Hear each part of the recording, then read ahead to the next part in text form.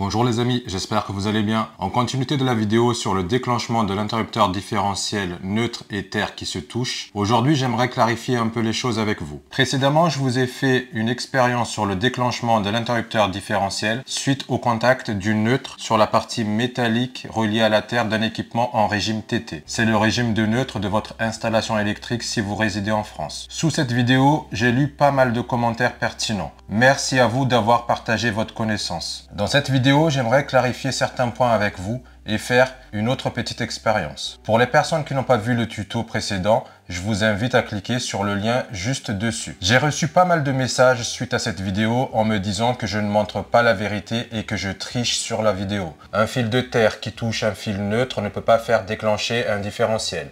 Une possibilité que j'ai croisé le fil phase et neutre dans la gaine, etc. Je tiens à préciser qu'en aucun cas les vidéos que je vous propose ont une tricherie ou d'autres choses de ce genre. Pour ce tutoriel qui va être très rapide, je vais vous faire une partie de l'expérience et en faire deux autres expériences pour pousser encore un peu plus loin le déclenchement du différentiel. Dans la dernière vidéo, je vous ai fait l'expérience en faisant toucher le fil neutre et le fil de terre dans la boîte de dérivation. Je vais refaire cette expérience rapidement mais cette fois-ci, je vais enlever la gaine pour vous montrer que je n'ai pas croisé le fil phase et neutre dans la gaine. Le but de la vidéo est de vous montrer et de comprendre les pannes électriques qui peuvent arriver dans votre maison. Avant de commencer l'expérience, je tiens à vous dire que ces expériences que je vous propose sont très dangereuses. Donc, je vous déconseille de faire ça chez vous.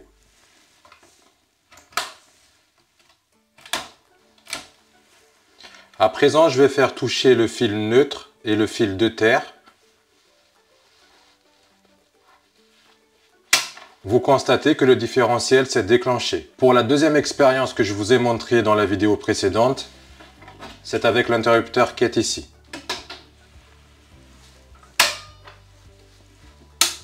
Ici, quand je mets à 1 l'interrupteur, ma lampe s'allume. Maintenant, je mets à 0 l'interrupteur et je vais simuler un défaut d'isolement sur mon fil neutre. C'est-à-dire quelques brins de mon fil neutre qui va toucher la partie métallique de la lampe qui est reliée à la terre. Je me mets en sécurité.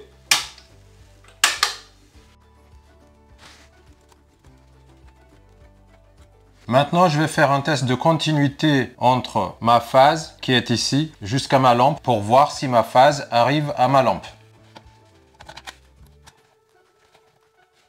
Comme vous le constatez, ma phase n'arrive pas jusqu'à ma lampe, ce qui signifie que mon interrupteur est bien coupé. Si je mets à 1 mon interrupteur,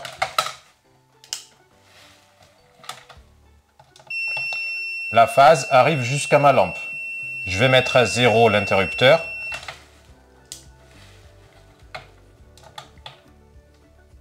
Ma phase n'arrive plus à ma lampe. Maintenant, je vais faire l'expérience. Je mets à 1 l'interrupteur différentiel. Je mets à 1 mon disjoncteur abonné. Vous venez de voir que l'interrupteur différentiel s'est tout de suite déclenché bien que la phase n'arrive pas à ma lampe. Pour bien vous montrer que le fil neutre est bien le fil bleu pour éviter des ambiguïtés, je vais faire le test en amont de mon disjoncteur divisionnaire. Mon disjoncteur divisionnaire BC, je vais prendre la mesure entre ma phase et ma terre. Vous constatez que j'ai bien 238 volts. Entre le neutre et la terre,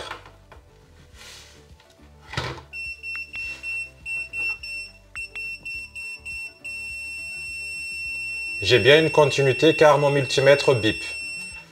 À présent, je vais pousser l'expérience pour que vous puissiez bien comprendre les choses. Je vais modifier le câblage. Cette expérience, je l'ai déjà réalisée dans l'une des vidéos de la chaîne, mais je voulais vous refaire pour vous montrer dans quel cas un interrupteur différentiel ou deux interrupteurs différentiels se déclenchent. Sur mon installation, j'ai croisé mes deux neutres. C'est valable aussi si j'ai croisé les deux phases. C'est-à-dire, mon disjoncteur 10 A qui est ici est censé alimenter ma lampe. La phase de ce disjoncteur 10 A arrive bien à ma lampe qui est là. Par contre, le fil neutre, je l'ai amené sur ma prise qui est ici, comme vous le voyez. Avant de commencer l'expérience, il y a deux choses à savoir la définition simple d'un courant électrique. C'est-à-dire, Un courant électrique est créé suite au déplacement des électrons d'un conducteur soumis à une différence de potentiel.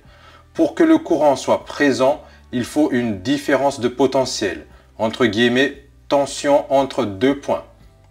Deuxième point à savoir qui a une importance aussi, comme je l'ai dit dans la précédente vidéo, sur un schéma de liaison à la Terre TT ou régime de neutre TT, aussitôt qu'un conducteur actif, j'insiste sur le mot actif, touche la Terre ou une masse métallique reliée à la Terre et engendre un défaut d'isolement, il doit y avoir une coupure qui sera assurée par un dispositif différentiel. Si la valeur du défaut dépasse la sensibilité du différentiel, celui-ci se déclenche. Dans notre maison, c'est l'interrupteur différentiel ou disjoncteur différentiel qui assurera cette coupure. Généralement entre 15 mA et 30 mA pour un interrupteur ou disjoncteur différentiel de 30 mA. Maintenant, je vais passer à l'expérience. Mes deux interrupteurs différentiels levés, mes disjoncteurs divisionnaires A1, je vais lever mon disjoncteur abonné. Comme vous le constatez, mes deux interrupteurs différentiels se sont déclenchés. Il peut y arriver aussi qu'il n'y ait qu'un interrupteur différentiel qui se déclenche. Cela peut être dû à la vitesse de déclenchement, je pense. Pourquoi les interrupteurs différentiels se sont déclenchés? Or ici, je n'ai pas de défaut d'isolement. Le principe d'un différentiel dans notre cas qui est ici en monophasé est de comparer l'intensité du courant de la phase et l'intensité du neutre, entre guillemets, le courant entrant sur le dispositif et le courant sortant sur un conducteur actif par un procédé électromagnétique. Vu qu'ici, le courant entrant est différent du courant sortant, il est normal qu'il se déclenche. Cette différence est provoquée car j'ai inversé les deux neutres qui sont ici. Deuxième expérience que je vais faire pour terminer la vidéo. Ici, comme vous le voyez, je vais faire la même expérience qu'avec l'interrupteur coupé que j'ai fait précédemment. Cette fois-ci, je vais débrancher le fil phase de mon disjoncteur et j'ai mis quelques brins du fil neutre sur la partie métallique de la lampe pour simuler un défaut d'isolement. À présent, je vais faire la simulation. Mon disjoncteur divisionnaire levé mon interrupteur différentiel levé. Je vais lever mon disjoncteur abonné. Vous venez de voir que mon interrupteur différentiel se déclenche malgré l'absence de mon fil phase. Je vais faire la même expérience dans la boîte de dérivation.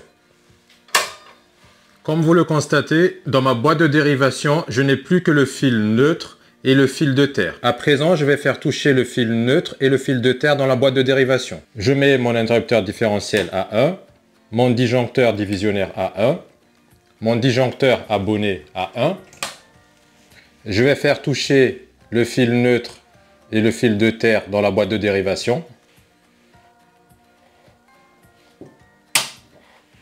Vous venez de voir que mon interrupteur différentiel se déclenche encore malgré l'absence de mon fil phase. Comme je l'ai dit précédemment, pour qu'il y ait un déclenchement d'un différentiel, que ce soit un disjoncteur différentiel ou interrupteur différentiel, il faut qu'un conducteur actif touche le fil de terre ou la partie métallique reliée à la terre. Dans cette configuration, le conducteur actif est mon neutre. J'espère que cette vidéo vous a un peu éclairé si vous avez d'autres explications, n'hésitez pas à le partager en commentaire. Si vous voulez soutenir la chaîne, n'hésitez pas à cliquer sur merci en bas du titre de la vidéo. Je vous dis à la prochaine pour un nouveau tuto. Au revoir.